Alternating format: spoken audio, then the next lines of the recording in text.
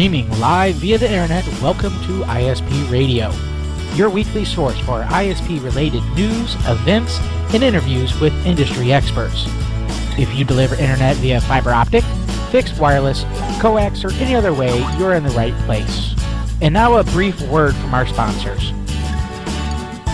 Link Technologies Incorporated provides the lowest priced MikroTik products in North America, as well as Wade Towers, Mimosa, Cambium, Ubiquiti, Netonix, and a host of other products and services to be your one-stop shop for your ISP needs. Visit www.linktechs.net. That's L-I-N-K-T-E-C-H-S dot net for more information. TowerCoverage.com, providing online RF coverage maps with website integration. Stop rolling your trucks for every site survey and start doing installations. Visit www.towercoverage.com now. And now we'd like to present our hosts, Steve Grabiel and Dennis Burgess. Another edition of ISP Radio. I'm your host, Steve Grabiel, broadcasting from beautiful, sunny New Mexico. Going to be a beautiful fall day here. Um, not much going on here other than just uh, enjoying the last dashes of summer here um, before we head into the colder fall. Um, was out plowing fiber in the ground yesterday, and fortunately, I've called our 811 dig people and they spotted everything. But the water company can't spot their stuff because no contractor puts wire in the ground. But I was plowing along and hit the customer's water line, so I had to call the water company. They came over, shut off the water, and I dug out the hole, found the pipe, and put on my plumber pants and repaired it. Then continued on, got the microduct I was throwing in the ground gun, but uh, that kind of uh, turned a half hour job into a three hour job. Yeah. But other than that, uh, everything's been running smoothly in my neck of the woods. Dennis, how's it working in your neck of the woods? Well, you know what? We've been real busy. Uh, we've been definitely doing some projects for some uh, I'm not going to say high profile customers, but they're definitely uh, you know uh, higher profile customers, things like that. Getting them straightened out, straight uh, straightened out, and and everything uh, aligned correctly. Uh, doing deployments with Mimosa and Cambium as well as MikroTik as well. Um, today we got a couple good things. We have Brad with Morningstar. We're going to talk to here in a little bit. and then we also have a number of extra shows uh, or new shows. Uh, looks like we have BridgeWave uh, going to be on next week uh, as well. So really good stuff. You know, we've been keep, keeping busy, and uh, you know we've been ordering uh, all new products as much as we can. You know, that's that's the name of the game. You know. Mm-hmm.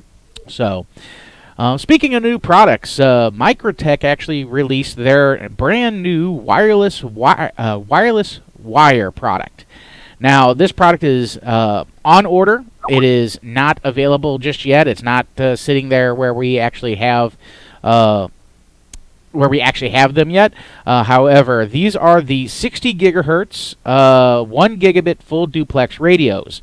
And what's happening with MikroTik is they are going to have an initial batch that they actually want uh, to register deals with, so that if you have uh, customers that need many more, they will get the priority on on getting those. So we're trying to get as many customers to buy uh, one, two, to try them out uh, as possible, so that we can get those uh, products in stock and we can get them shipped to the client as quickly as possible. Now, what's really cool about the wireless uh, wire product, and I'm going to put it up on the screen here. There it is. Uh, the wireless wire product. This product uh, is a pair of 60 gigahertz radios. So it's not just one; it's actually two. They're uh, actually what we call WAP 60s, and these products uh, will give you one gigabit full duplex uh, at several hundred meters. Uh, I believe they are basically stating that it's, it's about a uh, hundred plus meter range. It does drop down in speed. So if you have a longer link, it can uh, demodulate and drop down on speed. Uh, 100 meter range is, is the full gigabit range. But the big thing is these things are $200 for a pair. Uh, they wow. come pre-configured. They they basically you put you plug them in. They should be connected uh, right away as long as they have signal. So, really good stuff with MikroTik uh, as far as this brand new product goes. 60 gigahertz, it's uh, licensed light. Uh, it's paired, secured. Uh, it can be powered by uh, DC power jack, AF, AT, or passive PoE. Really great product, and, and hopefully uh, in the end we will have quite a bit of customers requesting that. Um, again, 198 is the the set price. Uh, everything is already there. Uh, you have a built-in antenna. It actually has a phased array 60-degree beamforming antenna in it, uh, which is kind of new to MikroTik. So we'll have to see how that all works out, uh, etc. Some other products that MikroTik has recently announced, again, we don't have them, is we have the new Fiber Box. Uh, this is a five-port SFP uh, outdoor rated box so that you can actually have five SFPs uh, coming into the fiber box and uh, going back out. And it is 79 bucks. Now, this again is an outdoor rated enclosure so that you can put it up on the tower if necessary. Uh, MikroTik also announced the 11, uh, I'm sorry, the RB 1100 AHX4. Now, this is not a new product. Um, they have the AHX4 Dude Edition, which actually has a 64 gig SSD drive in it. But now they actually have the AHX4 without the Dude Edition. Now, basically, that does not have the hard drive in it, and they have a price uh, that is uh, fairly decent, 299 for the 1100 AHX4. So uh, you have that. The uh, AHX4 does have dual uh, DC, or I'm sorry, dual ACN, so dual power supplies, but it also has a uh, DC power jack. So I'm going to zoom in here. It does have a DC input jack as well. Uh, that you can actually power it with 48 volt or 24 volt or anything from uh, 12 to 56, uh, 57 volts. So really good stuff there as well. Uh, great new product for MikroTik. They dropped the Dude Edition because a lot of people don't need the Dude. They they just want a uh, a multi-port router that actually has some decent uh, throughput. And they're saying uh, it's going to do about uh, seven gigish or so of throughput. So it should be a, a really great. Uh, first off, it is passive cooled, so that is kind of important to note. Um, but because it is passive cooled, it's probably one of those tower box routers that you're going to do, and it's going to be bring it in line with the price point of a CCR. You know, CCR is about 349 uh, for the 10009 nine core. Now you have a four core device at 299. Uh, we also have the MUPS. This was uh, a product announced at the last MUM. Uh, this is the PoE uh, in and out, and then you can hook up a battery to it. There's no management interface to this at all. Uh, it comes with a connector to connect a uh, battery on it. And uh, right now, there's no management interface. They are saying that they're going to make one. Um, but this uh, product is 29 bucks. Again, we're going to be getting those in as well. And then they also have their new uh, M11G, which is their new CPE device. Uh, this one actually has a SIM slot and is really designed for a SIM card. Uh, we also have the 48 volt uh, power supply for the 1072s. Those are going to be coming out as well. So with that said, you know, MikroTik has quite a few new products. This was in their last newsletter. It's all publicly available. Most of these products are not uh, have not hit the distributors yet.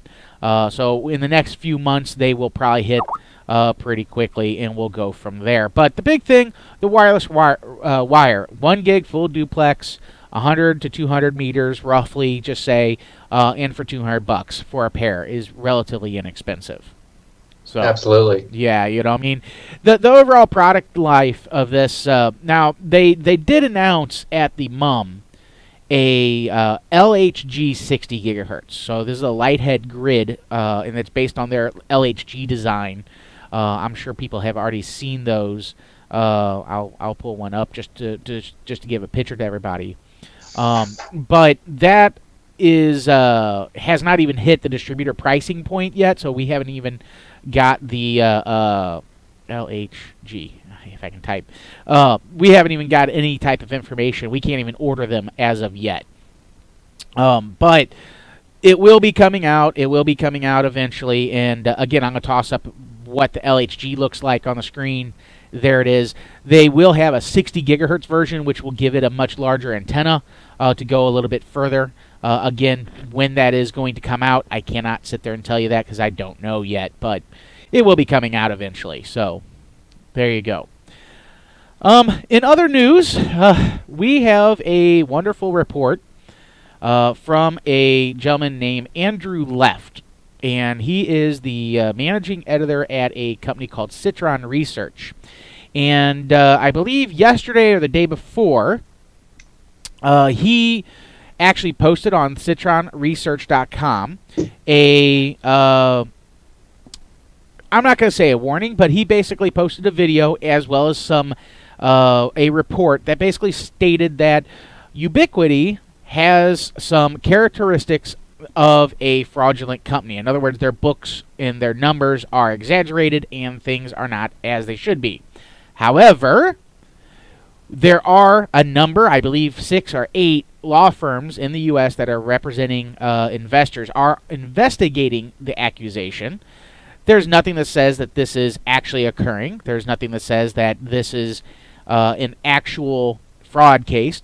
It is just a accusation. So, with that said, you know, uh, as everybody will tell you, you need to do your own research on on that if you wish to invest into said company. But this has actually caused uh, Ubiquiti quite a bit of grief because uh, of the this video and what they basically say. And, and I got the the Citron research here. Um, there's a number of reasons. Uh, number one, uh, they use this misunderstood word on last conference call. I don't really get that. Uh, the operating metrics are so much different than what other people in the industry, or uh, not necessarily in industry, but other companies similar to uh, Ubiquiti are.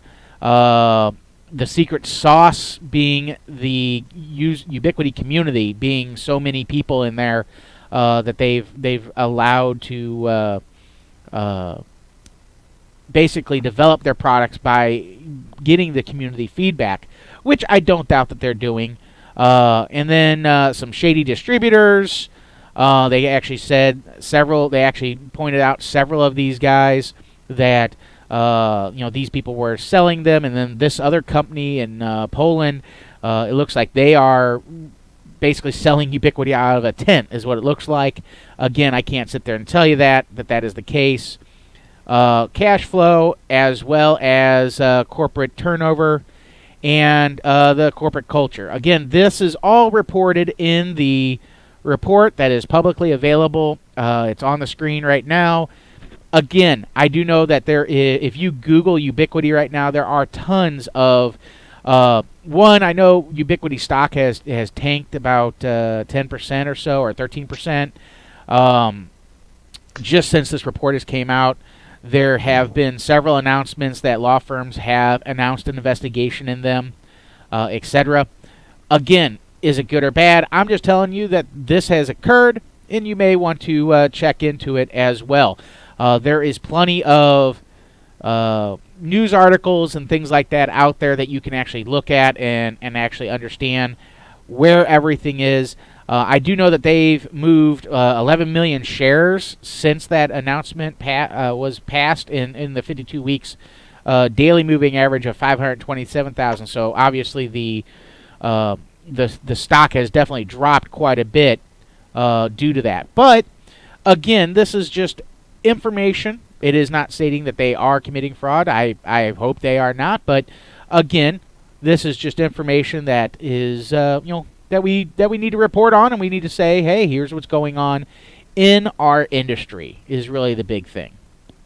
Yeah, pertinent to our industry. Yeah, yeah. I mean, I think it's you know. Uh, you know, we don't see most of our companies like, uh, uh, you know, we don't see uh,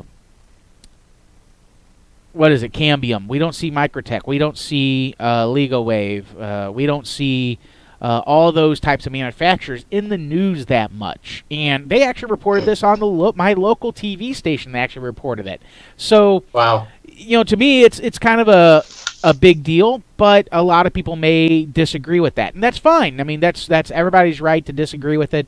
Uh, we're just reporting on it as it, uh, you know, as it is. So there we go. With that said, I'm uh, I'm out of news. Like I said, we are going to have Bridgewave on next week, um, and then uh, that's it. Wispapalooza. Yeah, yeah. I mean, Wispapalooza is right around the corner.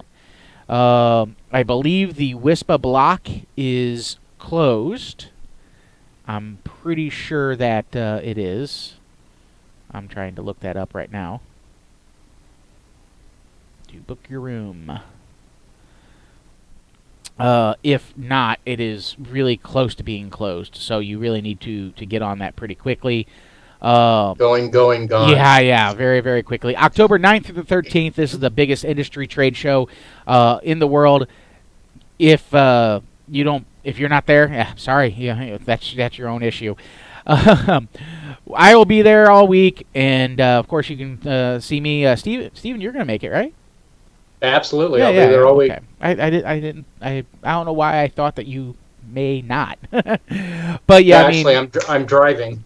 Gotcha. Um, the exhibit hall is completely sold out, so we have absolutely uh, over 100, and, I believe 110 or 130 exhibitors. Uh, it says 125, so we'll just go with that number.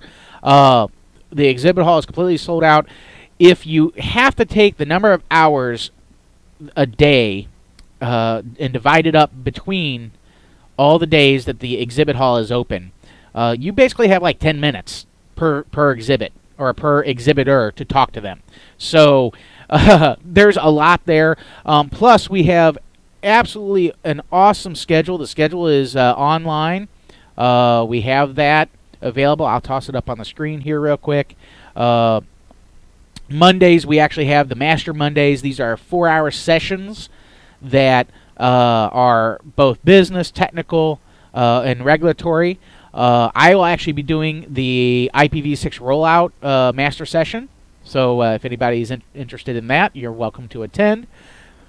Tuesday we have our opening breakfast, speed dating, and then uh, after lunch uh, or lunch uh, will be served in the exhibit hall, which the exhibit hall will be open, and then at 3 p.m. we start with our tracks. So we have technical, business, HR, regulatory, etc.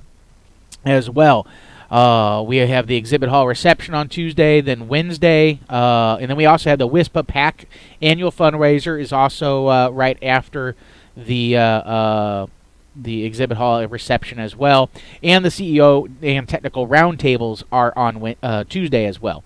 Wednesday, 8:30 a.m. we start session three, session four, and session five, and session six.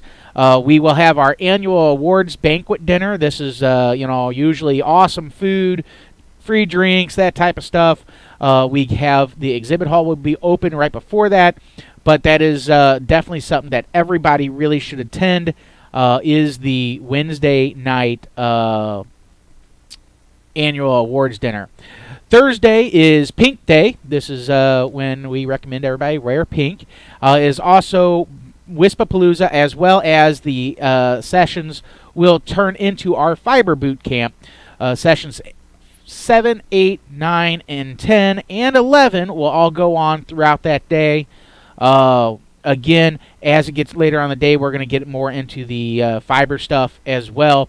And then on Friday, we have sessions 12, 13, and 14.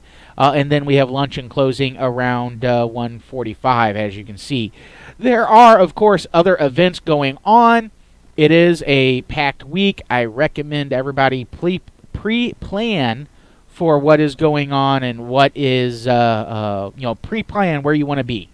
Because uh, it's going to be a busy week, and I look forward to it. Yeah, and uh, will Jim be wearing his pink coveralls? I'm assuming so. I have no idea.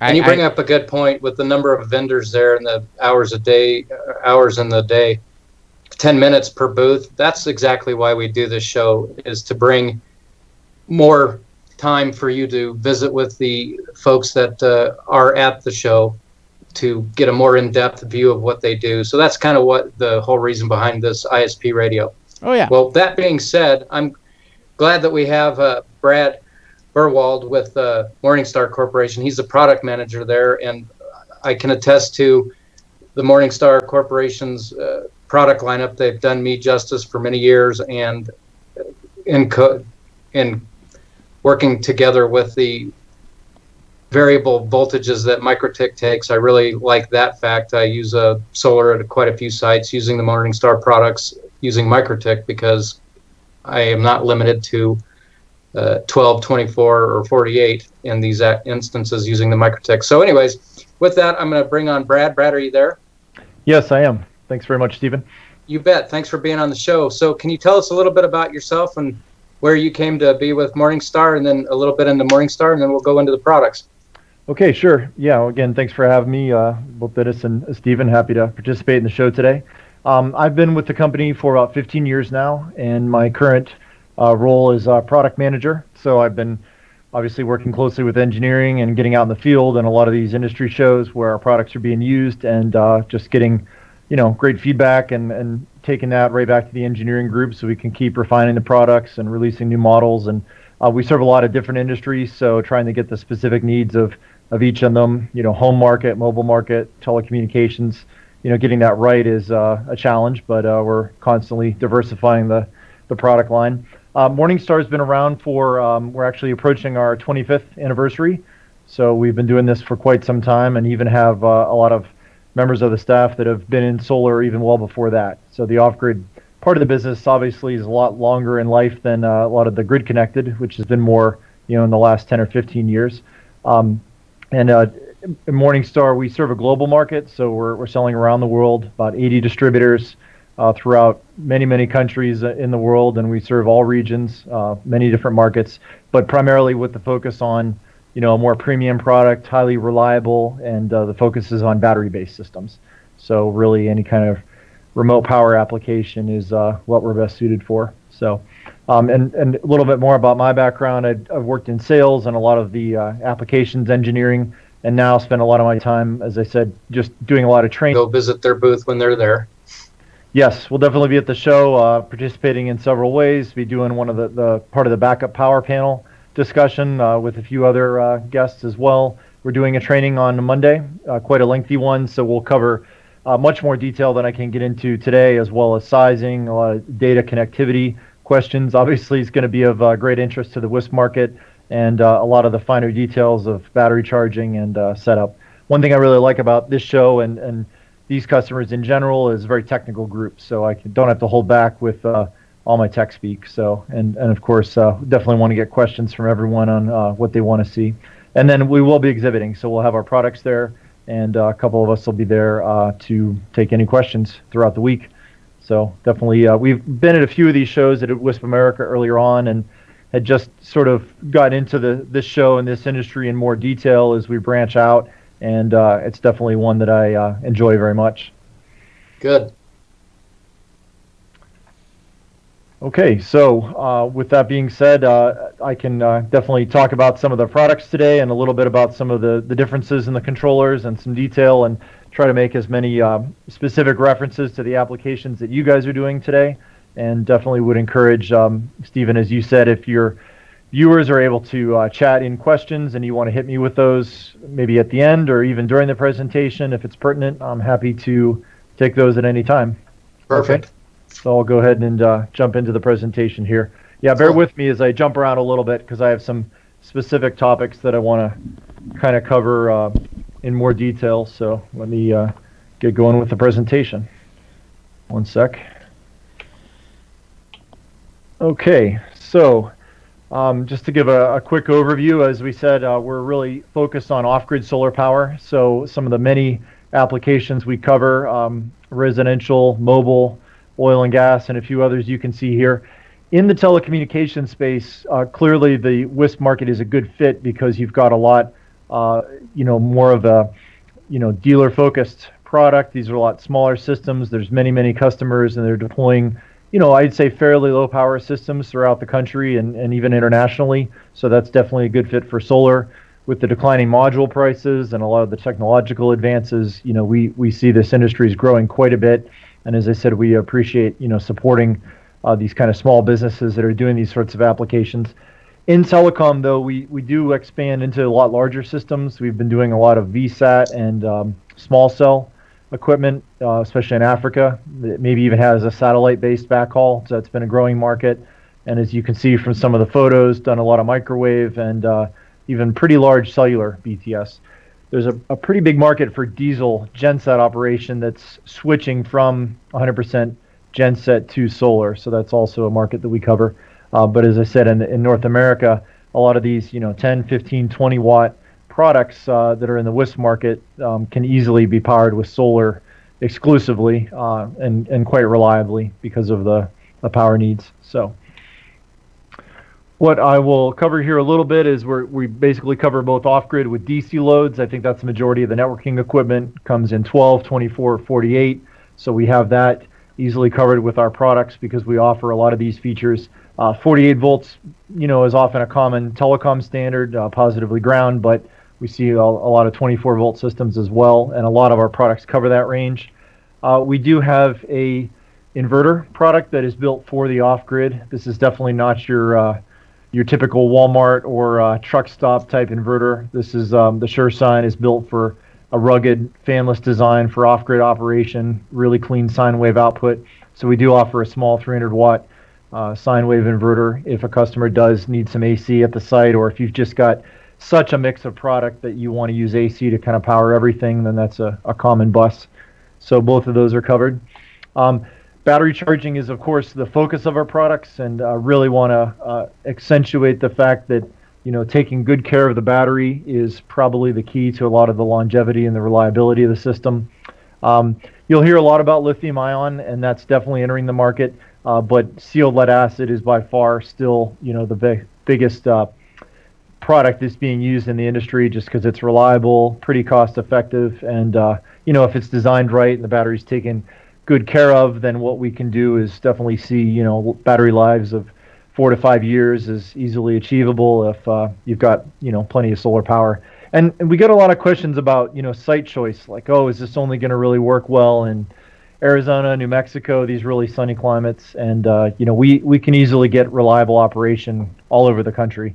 Uh, I often remind customers the biggest solar market in the world is actually Germany, which has about as much sun as uh, Maine. So you know, hmm. you definitely don't you don't have to think that if you're not in uh, you know sunny Florida or in the the desert that uh, solar's not right. It's it's definitely uh, going to provide a, a, lot of power.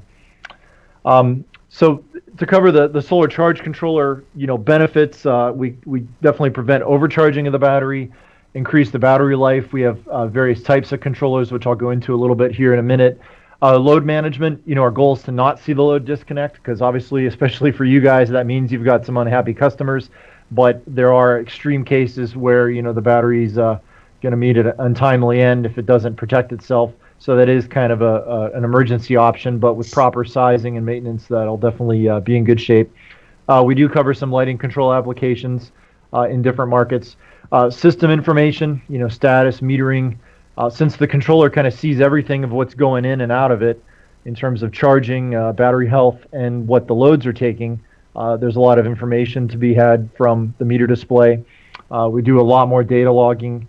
And then uh, lastly, an important topic for this industry, and, and which I'll, I'll go into a lot greater detail um, at, during Wispapalooza as well, is remote communications. And this is something we kind of pride ourselves in because we were the first to offer some connectivity options on charge controllers well over a decade ago when they just weren't all that intelligent and weren't all that connected. And you know, you're going to hear a lot of buzz nowadays with uh, the uh, Internet of Things and the Industrial Internet of Things, which you know many people have just called you know SCADA or remote monitoring in the past.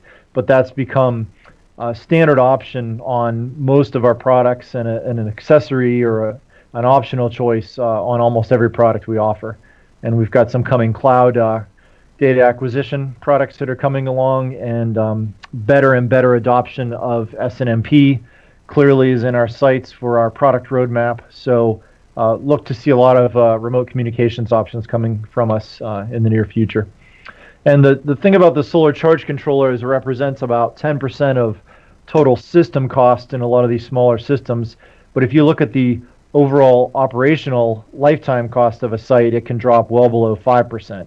Because if it's, uh, you know, you go through a couple battery cycles and, and, you know, your investment in your solar modules is a 20 year investment, hopefully, uh, you know, then if you pick the right product up front, you can see, uh, you know, some pretty reliable operation in these systems. And obviously, you don't want to have a controller failure because that means pretty much a total system failure. You lose your loads, your batteries are, are left undercharged, and your uh, your PV is not being put to use. So uh, when we when we get asked about our controller family and what represents our product line, it really falls into two categories, and this would be pulse width modulation, you know, which is PWM, and uh, maximum power point tracking, which is our MPPT line. And really, uh, MPPT is the newer and more sophisticated and and possibly better optimized solution in a lot of cases, but I don't want to count PWM out because it is still a good bang for your buck. It is more cost effective and depending on the module choice and what it is you're really trying to do with the system, PWM controllers are, are definitely still in the game in a big way. And we've actually released uh, two models just this past year in the PWM line. So you'll look to see both of those as um, being available in the, the coming future.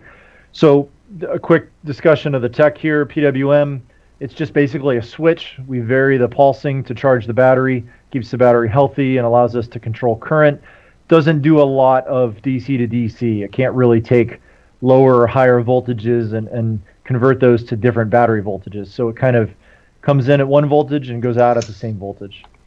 Um, when you get to, uh, I'll jump ahead here to MPPT, that's actually a DC to DC converter. So we're actually able to take a much wider voltage input. We can work with a wider variety of modules, a lot of the ones that are optimized for the grid market.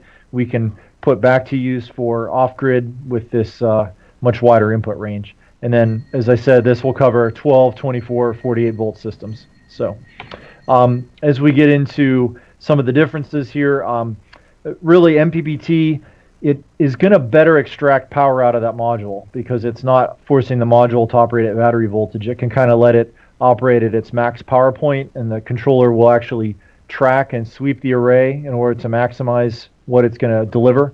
So in terms of getting your maximum wattage out, the MPPT definitely has some benefits, but does come at a little bit of a cost premium. So it depends on a lot of your systems. Um, one of the things that is the biggest impact is temperature of the module, and uh, that's something to uh, take into account. So let me get a little bit here into uh, some of the product families, and uh, I'll start with the PWM controllers. Uh, one of the, the nice benefits of uh, Morningstar's product line is it's got a lot of longevity. We try to keep the product line consistent. Um, these are products you can count on for, for many years of inv- availability, and we've had a lot of generational upgrades to our products. Our ProStar product line is actually on the third generation now, so we keep kind of keeping the technology updated and making sure that a lot of the features are kept current. As I said, adding data communications and using the latest uh, you know chipsets from the uh, the processor lines that we utilize. Um, and this represents really a spread from all the way of, down to the little SunGuard here, um, which is just a 5 amp charger, all the way up to our TriStar controller, which uh, tops out at about 60 amps at 48 volts. So on a large telecom system, as I said, we've done some cell towers. We might see several of these in parallel, and, and it's not uncommon to see, you know, from 5 to 10 kilowatts of uh, PV utilized.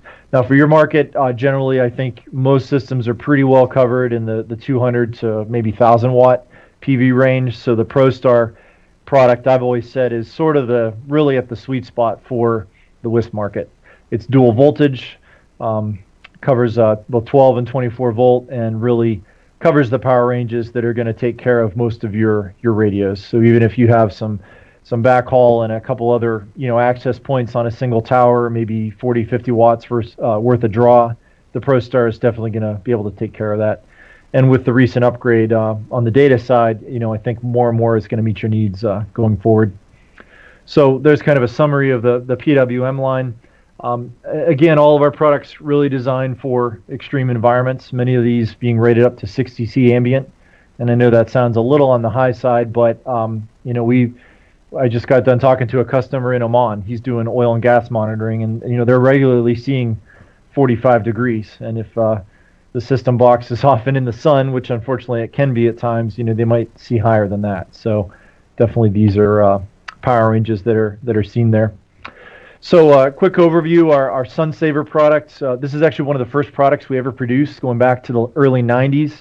Currently on the third generation, used in a lot of oil gas applications. Uh, you'll notice if you ever pry any of our products open, a lot of them are epoxy encapsulated. So there's going to be sealed and uh, really adds to the longevity of the circuit board. Uh, all of our products are fanless as well. And you can see from our little icons here, we're, we're trying to do the right thing and more and more provide the ETL listings and the UL listings and uh, FCC certs that we need to put in place for you know quality products.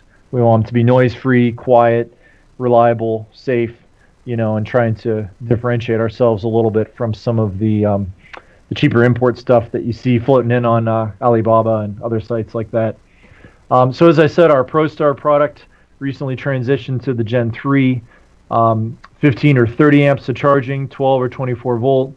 Definitely some overload capabilities. We've got a nice new meter design on there, and also is available with um, our uh, serial interface for data. And I'll, I'll cover a little bit more of that here uh, in the coming slides.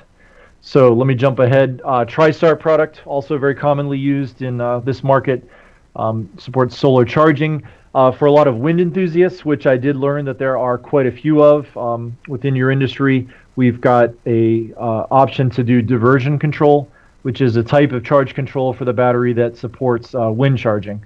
So I'll be um, teaming up with um, uh, Mark Detmer from Mission Critical and Wind and be talking a little bit about that at the show. So definitely bring your wind questions as well, because you may often find that, uh, especially with these sites, if you're up on a, a, tower and it's a pretty high elevation or in a good location to get you know both some sun and wind, that that combination of power together is uh, kind of a nice fit, because it just happens that uh, when the wind's blowing, it might be a little on the cloudy side, and when it's bright and sunny, it can be a little more still, and uh, you definitely want power in uh, both those situations. So we definitely can support some uh, wind options as well.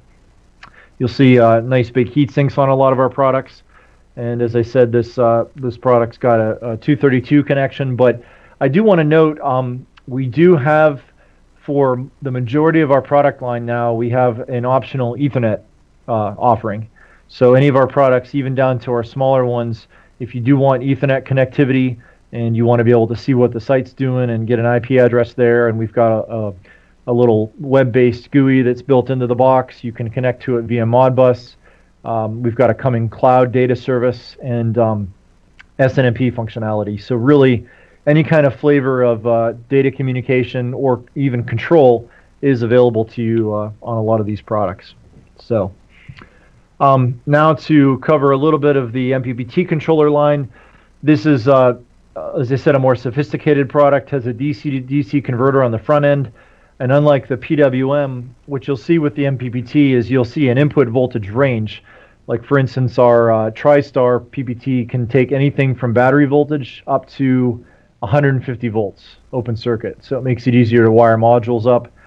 Um, often if you've got a, a good distance of wire between your module uh, array and the controller, you might actually choose to wire it for a higher voltage so you can use smaller wire. You can get a, a better run in there and uh, minimizes your voltage drop. Our 600 volt controller is actually our highest rated product, definitely a premium one. Um, the, the telecom application I showed in the beginning there was actually a microwave repeater that was in the uh, up in the high uh, north locations in Canada. It's using our 600 volt controller and that's because they had actually a greater than 100 meter run between the PV and the um, and the, the telecom power shed where they needed to get the power. So that comes in handy in those applications. So uh, just do a little little brief coverage here of the different models. Our SunSaver MPPT, little guy, uh, takes 200 or 400 watts depending on your voltage. Uh, very very accurate power point tracker, some communications options. Um, again, this is a potted product, and you'll see our TrackStar badging on a lot of these products, which is our secret sauce for uh, maximizing the, uh, the efficiency and energy out of the module. Um, as I mentioned, our ProStar PPT is a, a variation of the ProStar in the MPPT version, and uh, much newer product came out last year. Again, a lot of sophistication. Uh, added the ETL and uh, IEC certifications. I, you know, I've always wondered, and I hope to learn at this show a little bit better, but you know the WISP market. If any of you guys are doing uh, business overseas as well, I don't know if uh, anyone ever gets on some some uh, trekking uh, outback or in Latin America or Africa, some possibly some mission work that we've seen where they're doing some NGO work for uh, telecommunications, but a lot of these products are used in those markets, and, and we try to satisfy uh, the technical needs of those those areas as well. Um, the uh, TriStar MPPT version, again, up to about 3.2 kilowatts of power and lots of options available for communications. This product was actually the first that had such a, a common need for data communications that uh, we actually built Ethernet into it directly. So it's got it built in natively. It doesn't have to be added as an option. So uh, that was sort of what got us into the IP world. And um, the nice thing of using the uh, communication standards like Modbus and SNMP is that it gets picked up by a lot of uh, OEMs that want to do power packages. So, and you again, that, some, you have something interesting here that pulled my attention. Lightning and transient surge protection. Is that only on the TriStar?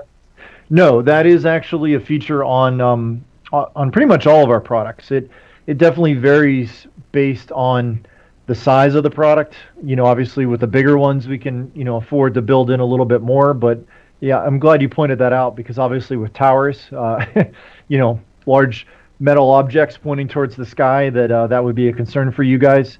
Uh, so if I can touch on that for a second, um, all of our products have uh, they use TVSs. Okay, these are transient voltage suppressors and they are basically right on the board. Another term that they're often referred to as is uh, transorbs, and what they do is they will they will react very very quickly, and unlike MOVs, which have their own you know place and role as well in the system, the TVSs they don't actually degrade over time, so they'll they'll shunt current to ground uh, in the case of a high voltage spike. They activate at just a little bit higher than the max PV input voltage of the controller and those, in the case of the uh, TriStar PBT, I think the rating is uh, 4,500 watts. So, you know, it's a fair amount of protection built in. Um, I want to note that's not designed necessarily for system level protection. We're not there to protect the whole tower. For that, we definitely recommend a, a third party solution that maybe is MOV based that can handle a lot more juice. Um, you know, maybe some uh, or other products that are available from Delta. Uh, Midnight makes a good one. But our TVSs are built in. Really, it's to protect the controller itself from these little surges that can um, pop MOSFETs. So. So does that that's included in the SunSavers? Yep, SunSavers have them. ProStars Good. have them. Um, TriStars. Yeah, pretty much everything because it's it's really our best line of defense against those little, you know, it's not the direct strikes. There's not much you can do about those, uh, nope. but it's the induced uh, voltage that can uh, cause damage to the processor or some of the MOSFETs. So we build that into every product. But yeah, as I said, the MOV level protection for the system is uh, definitely recommended as well. So there's our uh, our 600 volt controller. Um, definitely a uh, that's 48 volt only, so really would be on your larger systems, but uh, it's a little bit unique in the market. Gives you a really high voltage input. So, all right, um, let me jump ahead a little bit here. Uh, here's some shots, uh, our epoxy encapsulation that I wanted to talk about because really the robustness of a lot of these controllers. If you guys want to see products that are going to last, you can come back and, and see them in the field for you know years into the future. A lot of these uh, mechanical designs, uh, conformal coating that we use to seal the circuit board, that's used as well and is one of the things that uh, differentiates the products from the you know the uh, overseas competition.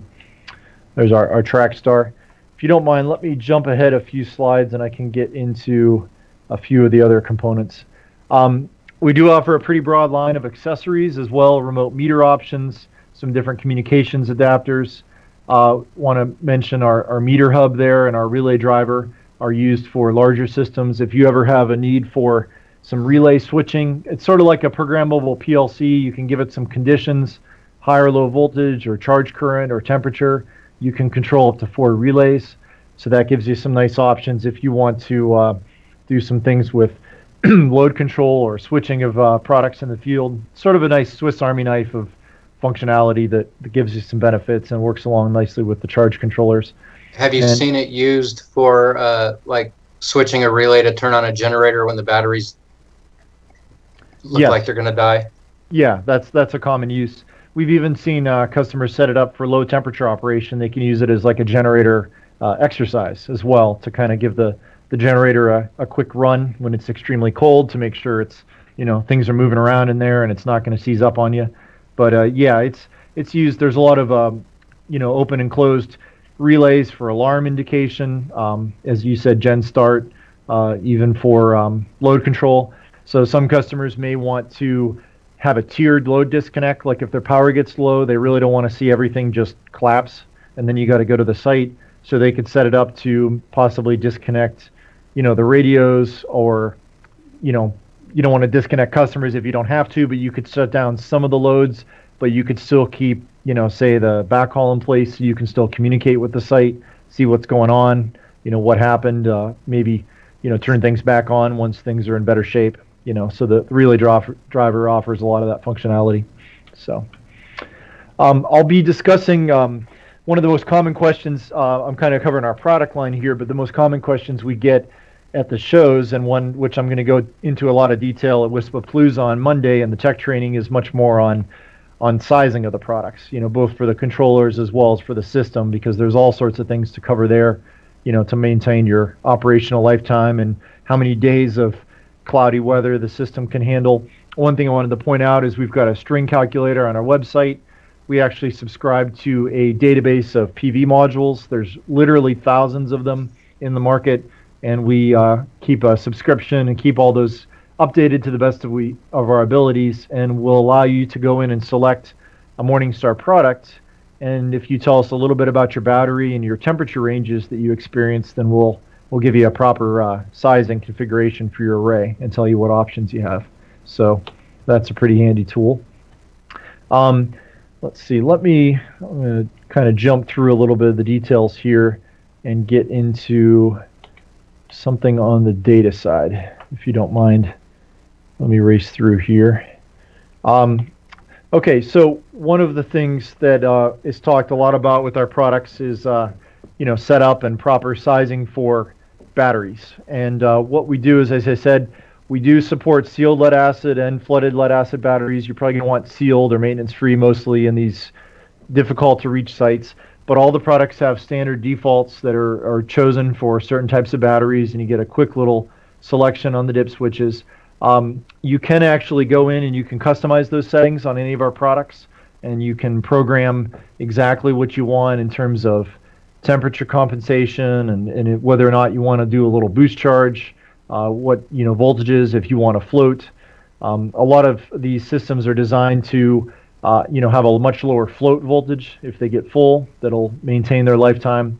Um, and as I said, using our software, you can even reprogram these remotely if you want to change settings in the field and then actually reset the controller to utilize these new settings. Um, we get a lot of questions on battery types because there's a lot of new chemistries out there, and there's too much to go into today. But uh, I'll cover a little bit of those at the show. And also, if you look on our website, we're doing a lot more with coordinating with the different battery manufacturers. So a lot of the bigger name brands, we've got preset configuration files that we've put on our website that are available for download. So you can kind of start with a template that we've already worked out, that we've endorsed, that the manufacturers endorsed and then you can kind of take it from there.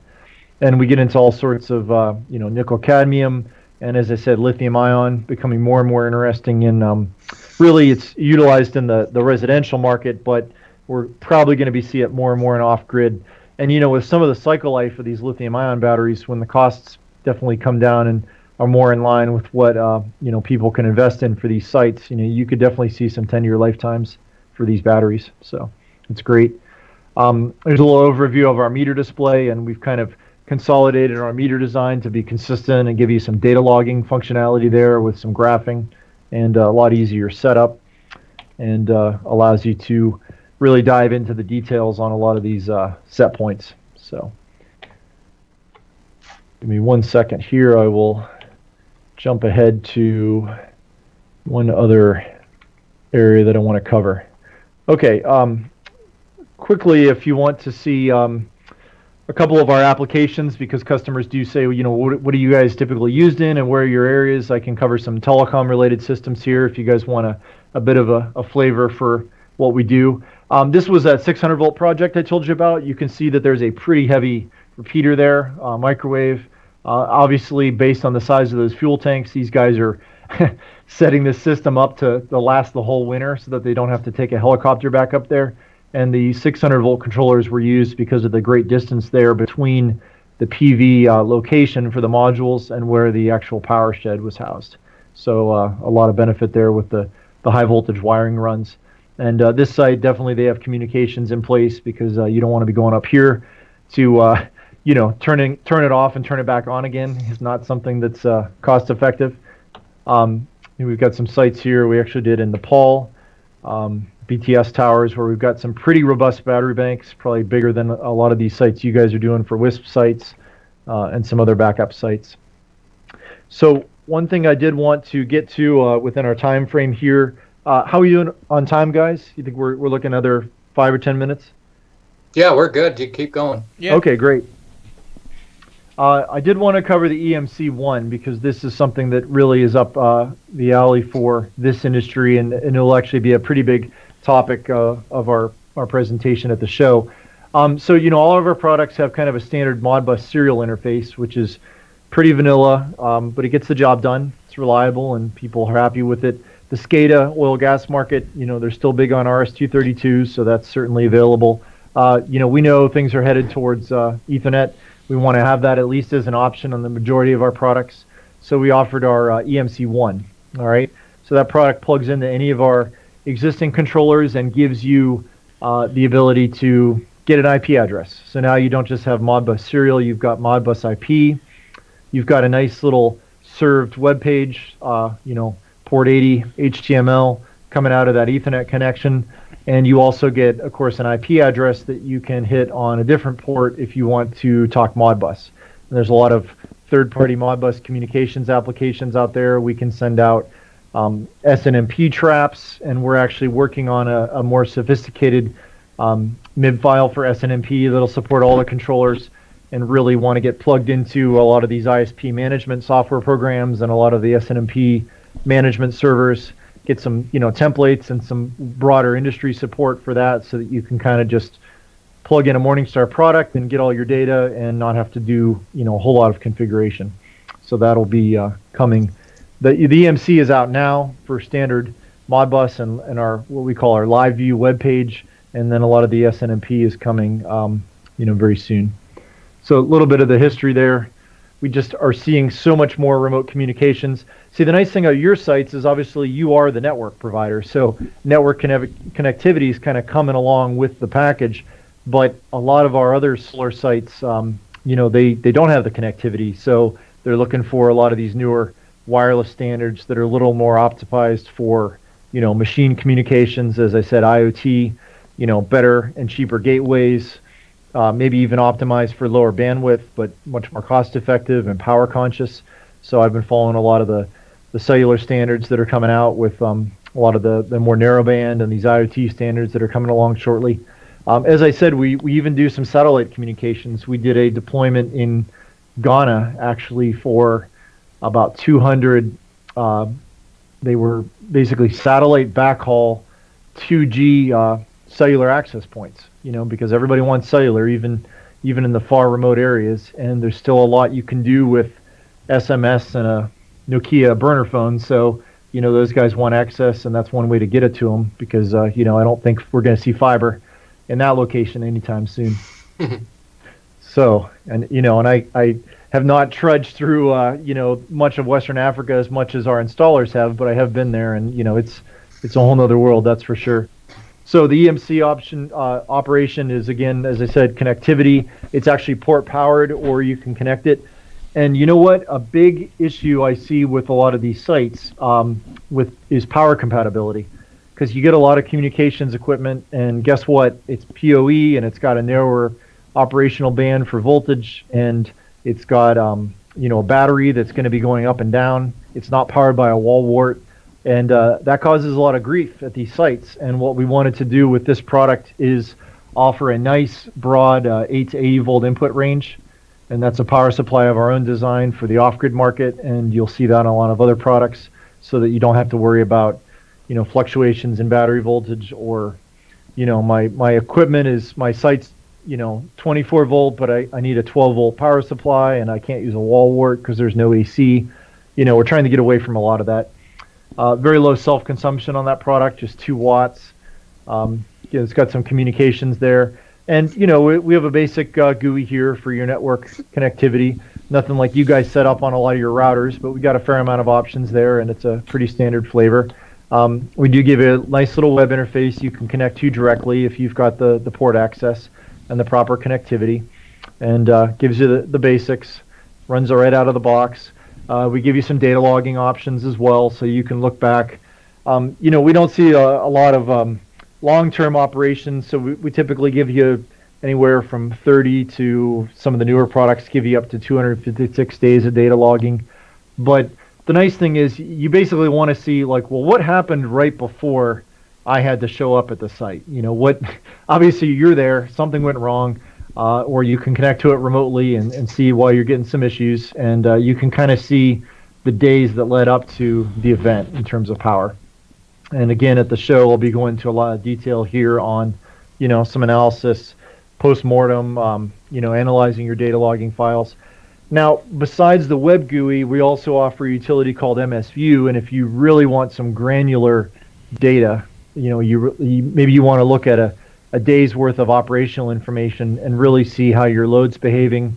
You know, when's it drawing peak power? Does it go to sleep uh, during, um, you know, like some low power instances, and really seeing how it's behaving? You can get data as as frequently as every five seconds, and you can get a nice CSV file there. And you know, that is kind of the uh, the buzzword nowadays is you know learning about uh, analytics and how can we really see through the numbers and learn more about our sites and and we definitely want to enable that. Um, let me jump ahead through some of this. There's our, our battery operating ranges that um, you know give you guys a broad range. We we mostly see 24 and 48 with a lot of these systems. Do you, you guys see many 12 volt powered equipment or is it more 24 and 48 nowadays? I, I have a site that's been running for about eight years on one battery with a SunSaver 6 on it, and it 12 volts powers that MikroTik. And if I add if I add like 10 more customers to it, I probably got to throw another battery in there. But uh, mm-hmm. I do run 12 volts. Uh, you know, a MikroTik with two radios in it. Yeah, yeah, I gotcha.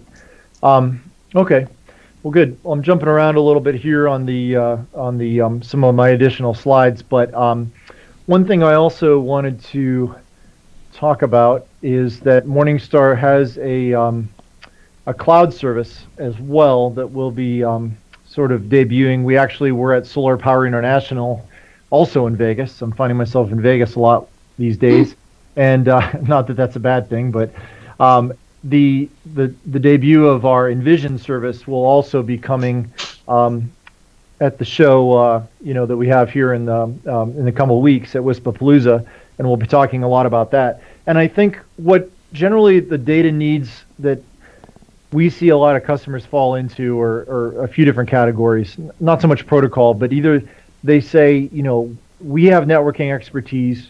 Just give us an IP address, let us know how to communicate with it, and we can kind of take it from there. So we see again with your industry, the demand is SNMP They've got a system that's already in place. They're managing the equipment that way. They want to manage the controller that way as well.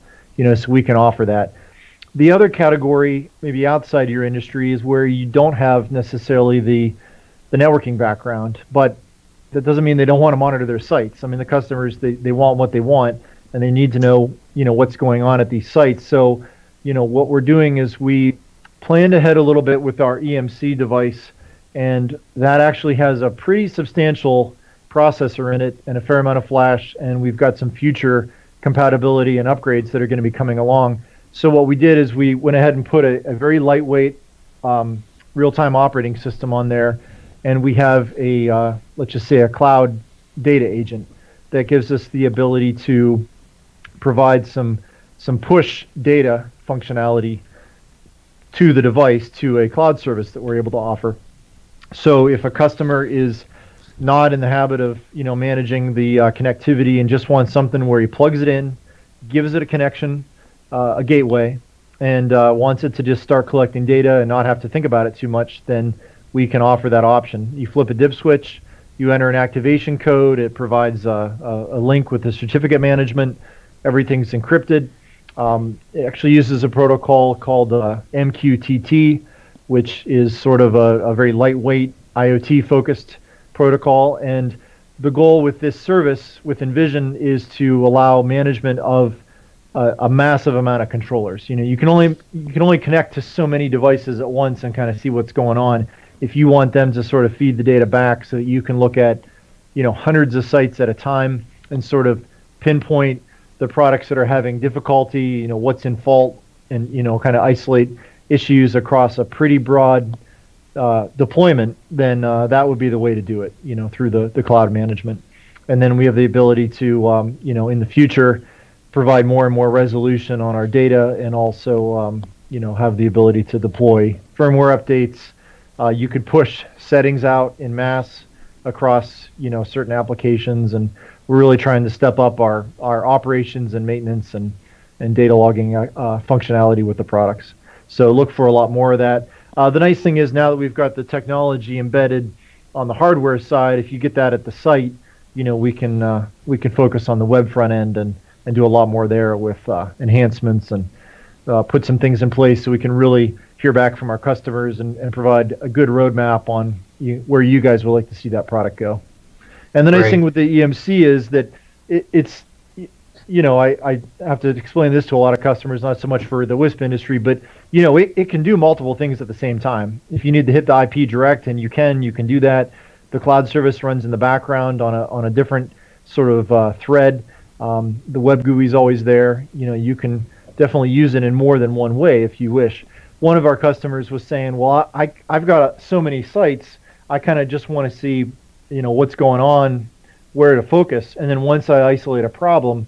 you know, I have the connectivity that I can actually connect to your product directly with MS View, and then I can do some very detailed analysis of what's happening. And we think that's a good way to, to handle the sites as well. Kind of get the 10,000 foot view and then zero in on maybe the sites where you really want to understand a lot more about what's going on. So, and as I said, you know, optimize the data. We're hoping with a lot of these, uh, you know, MVNO kind of virtual network operators that are providing machine focused data plans uh, better connectivity, you know, that that's going to be easier to deploy in the future. So we're looking at, you know, 10 to 20 megs per site uh, will give you a fair amount of resolution, you know, and then we'll be able to tell you, you know, what to expect from a lot of these sites as we get more of them connected.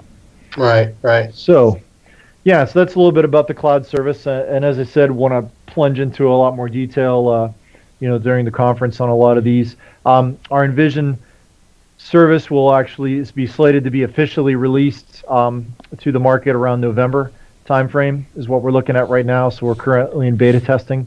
And uh, by the way, since I'm talking to a, uh, a select group of uh, listeners here, if anyone's interested in beta connectivity, you've got our existing products in place. Most likely, they've got our existing data port. Uh, even if you need a new controller, we can be in touch with you. But we definitely want someone with a, a, a network capable site uh, that has the, the background that can support something like this, if you'd like to uh, get some of those initial units and give it a try, uh, definitely be in contact with me. All right. So you mentioned a good point. How do we get in contact with you? Uh, you can reach me direct. Um, let me jump ahead to my final slide. Uh, there is our website, and let me just give you my email address. Uh, first initial B and last name Berwald. That's uh, B E R W A L D at morningstarcorp.com. So just send an email to me or uh, you know check look at our website for updates on the on the product release. But uh, as I said, being in the product management, I head up the beta program for a lot of these products, and uh, that's happening uh, literally this week as we speak. So if anyone wants to uh, reach out to me, I'd be happy to talk to you because really uh, a lot of these sites are the perfect fit. Exactly low voltage and, and connected. So, mm-hmm.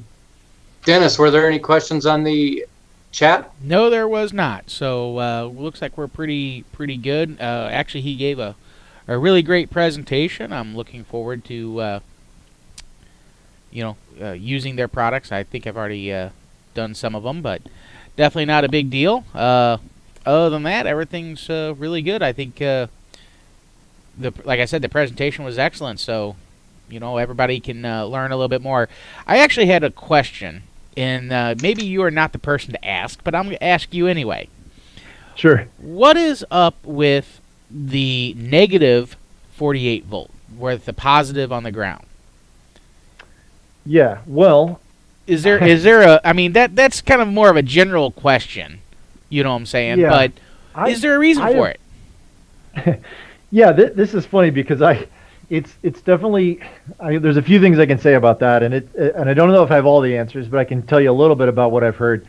So yeah, the 48 volt, you know, that's the most common that we see, and I think if I look back into the history a little bit, it's sort of stuck as a standard. I don't know that it's as critical now because I think its original need is not as common in the market, but it's definitely the telecom standard choice. Even all these BTS systems, we see it as a requirement, and we can support it just fine. You know, typically we see negatively grounded systems, um, but the controllers doesn't have a problem if you ground it on the positive. You just can't create any ground loops.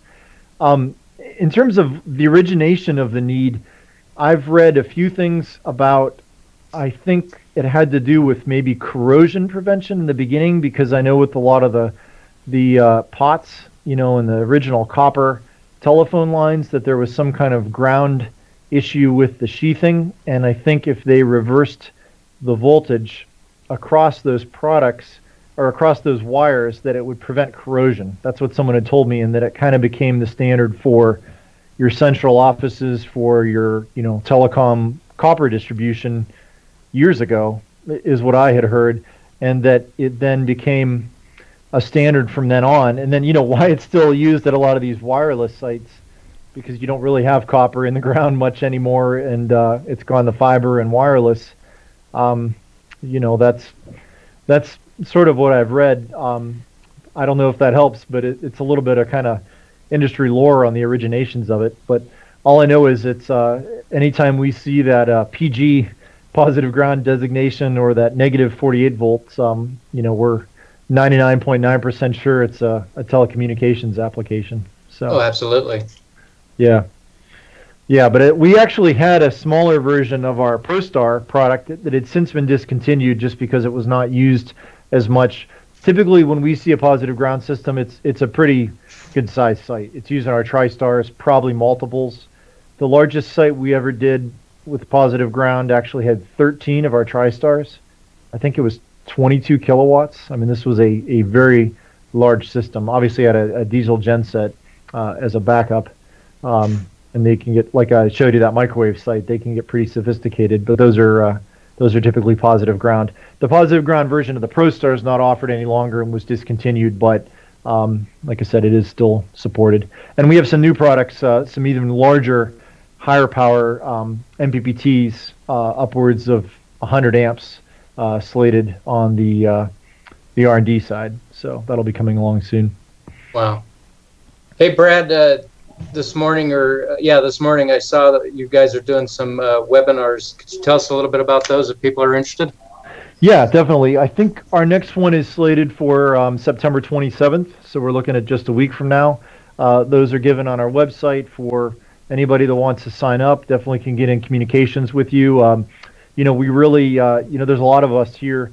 Our sales engineers are all engineers and like to talk tech. We've got app engineers. We've got a really dedicated support site as I said, uh, you know, Morningstar is a U.S.-based company entirely, and um, we're always here. If you guys have questions, just uh, pick up the phone and reach out.